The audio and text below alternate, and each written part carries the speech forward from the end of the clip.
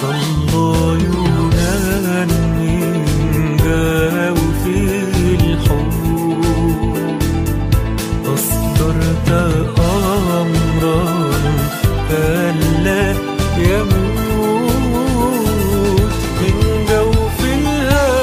الهاوية صار وبالمراحم سمعت الصوت وبالمراحم سمعت